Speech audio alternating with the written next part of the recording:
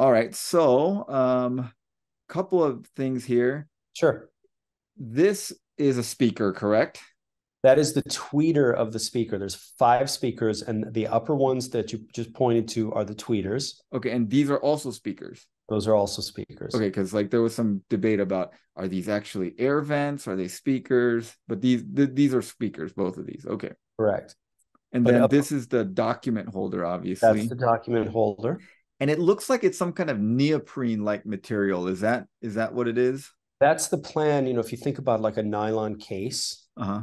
with a little zipper, yep uh, that's essentially what it is. Yeah, like those like cases they have for iPads and stuff that are zip open Mhm. or or notebook sleeves or something like that.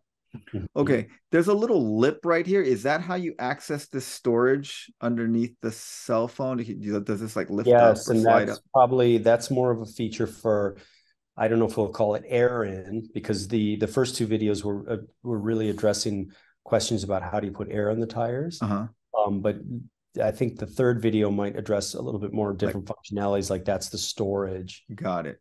or yeah, underneath that phone area. Okay, now this was a major change from the Air in one video is the way that this center screen, the the this housing around it looks looks totally different.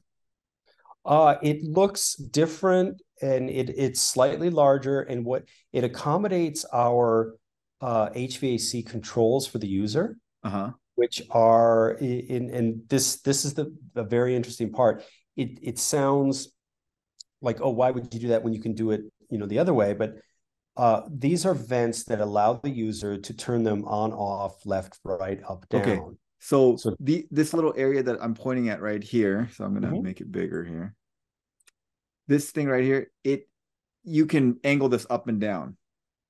yes but that's also a left and right Oh, there's a left and you can slide this left and right as well. No, you wouldn't slide it left and right. The uh, to the right of your cursor would be the passenger control, Okay. Right there. That one's directed more towards the passenger, and then to the left is for the driver. Okay. It allows it allows the passenger to close off uh, airflow to their side if they wish. And Okay. it also allows some degree of, of air direction. Okay. And that's so do these like fins move? Yes. Okay, they're movable. So they're just like the regular things that you see on cars you can yes, and, we we did not reveal that because we were in process. Uh, it's part of our intellectual property portfolio, Okay. our HC systems and and these vents. Okay. All right. All right. So that because that's what some people are like, hey, I bet these little things move the vents. And I was like, maybe. Who knows? They do. We call them rotary vents. Uh-huh. They they they do perform. Uh, like I said, you know, the, this is a stepping stone. We have first and foremost, we need a certain amount of volume of air, right? There's a there's a CFM that we have to uh, allow a, a certain amount of air to come out from the HVAC blower Mhm. into the cabin, and there's a certain amount that is recommended for the center vents, Okay. and we have, we have to meet that. So we've got a volume first and foremost. Then you have a directionality uh, issue. You know how much directionality you want to give to the to the user. Then you have an on off, like how much do you want to block? Let some some air in and some off or out Mhm. a- as it were and then then there's a there's a so there's a whole level and we our original ip and system was based on kind of behind the scenes controls Mhm. but it's much more complex to execute at that on that level at this time so we opted to investigate how to basically do that in a, a mechanical or an analog way. And we came up with a, a super elegant solution with these with these vanes and these these vents that allow you can just very quickly like up turn the air off turn it away from me you know direct it another place. So this was again a kind of you a cost benefit analysis of what what do you need what do you want and what works in the most elegant way and here we are so we're we'll, we'll have some more on this and the fun part of that about this is we're now doing um, cfd analysis Mhm. of what happens when the air enters the cabin and where does it go. So Okay. we've set we're setting up the models to run through this. Now, that's the CFD side, which we've been preparing for for quite a while. And normally it takes months and it's very complicated, but our partner is has uh, accelerated that process for us. At the same time, we're doing a bench test, and and we've been in process. So we're 3D printing these parts, and we're doing a bench test on the actual blower to measure the volumes of air, which is how we started with the vent around the screen. Mm-hmm. We set up a very basic one with no directional control, but we just measured the velocity and we compared it against uh, you know what you what you would expect in a normal passenger passenger vehicle uh, cabin size. So we measured you know amount, flow. What is this? What does it sound like? We have, mm. to, we have to make sure that it doesn't sound bad when it's coming out because there is noise. Yeah. With, with that, but um, this is kind of the culmination, and now's the right time to share it with y'all. Got it. Okay. Now, one thought process was is in one aspect, this is a re- really nice idea because you can like if you're using AC, you can mm-hmm. cool the screen as you're using AC blowing it. But on the flip side, if you were using a heater, you'd be heating the screen. Great. You guys have obviously thought about that. Yeah, and let, let me let me put this uh, very very straightforward. The two systems are insulated so that they do not either rely on each other or conflict with each other. Okay, that's been the real, um, let's say, fun part to engineer and design. Mm-hmm. You know, do you put them together? And the answer is no. You should you should start by keeping them separate. So we have a, and and the reason is we have a we have a, a control board in there that needs some thermal stability. Okay.